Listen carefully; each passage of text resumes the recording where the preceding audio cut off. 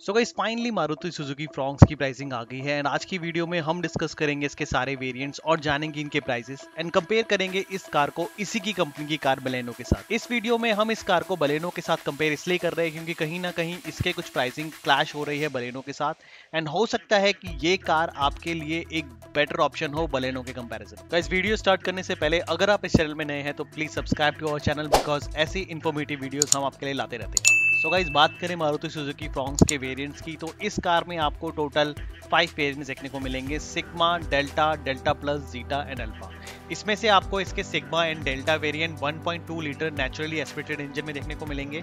And बात की जाए इसके जीटा एंड अल्फ़ा वेरिएंट की तो ये आपको 1 लीटर टर्बोचार्ज इंजन में देखने को मिलेगा। बात की जाए इन वेरिएंट के प्राइसिंग की तो इसका बेस मॉडल सिग्मा आपको प्राइस करेगा 7.46 लाख एक्स शोरूम वहीं इसका डेल्टा मॉडल आपको कॉस्ट करेगा 8.3 लाख वहीं अगर आप बात करें इसके डेल्टा प्लस मॉडल की तो ये आपको कॉस्ट करेगा 8.7 लाख वहीं इन वेरिएंट्स में आपको ऑटोमेटिक ट्रांसमिशन का ऑप्शन भी मिलता है। डेल्टा ऑटोमेटिक ट्रांसमिशन आपको कॉस्ट करेगा 8.8 लाख वहीं डेल्टा प्लस ऑटोमेटिक ट्रांसमिशन आपको कॉस्ट करेगा 9.2 लाख बात करें इसके वन लीटर टर्बोचार्ज इंजन की तो इसका one litre turbocharge engine start होता है डेल्टा प्लस वेरिएंट के साथ, जो आपको कॉस्ट करेगा 9.7 लाख वहीं बात करें इसके जीटा वेरिएंट की तो ये आपको कॉस्ट करेगा 10.55 लाख यहीं पे आपको सिक्स गियर ट्रांसमिशन का ऑप्शन भी मिलता है इसके जीटा वेरिएंट में जो आपको कॉस्ट करेगा 12 लाख बात करें इसके अल्फ़ा मैनुअल वेरिएंट की, वो आपको कॉस्ट करेगा 11.4 लाख वहीं पे इसका ऑटोमेटिक वेरिएंट अल्फ़ा का आपको कॉस्ट करेगा 12.9 लाख वहीं ये कार आपको टू ड्यूल टोन ऑप्शन के साथ आती है, एक मैनुअल एक ऑटोमेटिक इसका मैनुअल ड्यूल टोन ऑप्शन आपको कॉस्ट करेगा 11.6 लाख एंड वहीं इसका ऑटोमेटिक ड्यूल टोन ऑप्शन आपको कॉस्ट करेगा 13.12 लाख तो आपको कैसे लगे इस क्रॉस की प्राइसिंग वैसे तो हम इसे क्रॉस ही कहेंगे बट मारुति इसको एस कहता है। तो आपको इसकी प्राइसिंग कैसे लगी? आप मुझे कमेंट सेक्शन में बता सकते हैं।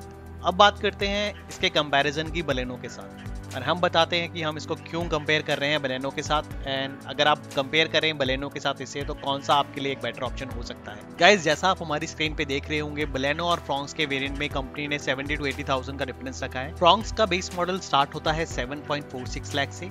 वहीं बलेनो का बेस वेरियंट स्टार्ट होता है 6.61 लाख से।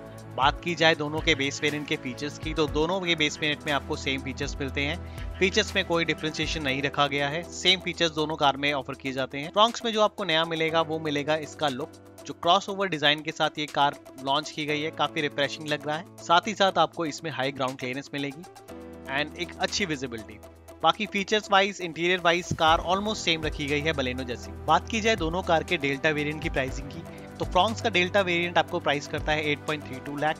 वहीं बलेनो का डेल्टा वेरिएंट आपको कॉस्ट करता है 7.4 लाख। वहीं इसके ऑटोमेटिक वेरिएंट में भी आपको सेम डिफरेंस देखने को मिल जाएगा। सो गाइज़ अब देखते हैं कि मारुति की ये दोबारा से कोशिश जो की गई है क्रॉसओवर को मार्केट में लाने की, ये कितना कामयाब होती है। वैसे आप मुझे कमेंट सेक्शन में बता सकते हैं कि क्या आप बलेनो जैसी हैचबैक को छोड़ के फ्रॉन्क्स को लेना कंसिडर करोगे? आपको दोनों में से कौन सी कार बेटर लगती है? एंड क्या फ्रॉन्क्स के लुक और डिज़ाइन के लिए 70 टू 80,000 एक्स्ट्रा पे करना वर्थ इट है? इस कार में जो मेन डिफरेंशिएटर होगा वो होगा इसका वन लीटर का टर्बो इंजन एंड बहुत ही जल्दी इसके वन लीटर टर्बो इंजन का रिव्यू वीडियो हम आपके सामने ज़रूर लेकर आएँगे. बिकॉज़ फ्रॉन्क्स का टर्बो वेरियंट आपके लिए एक अच्छा ऑप्शन हो सकता है. तो गाइस इस वीडियो में इतना ही. ऐसी और इन्फॉर्मेटिव वीडियोस के लिए हमारे चैनल को सब्सक्राइब करना ना भूलें। हम जल्दी ही वापस आएँगे फ्रॉन्क्स की डिटेल वीडियो के साथ। तब तक के लिए बाय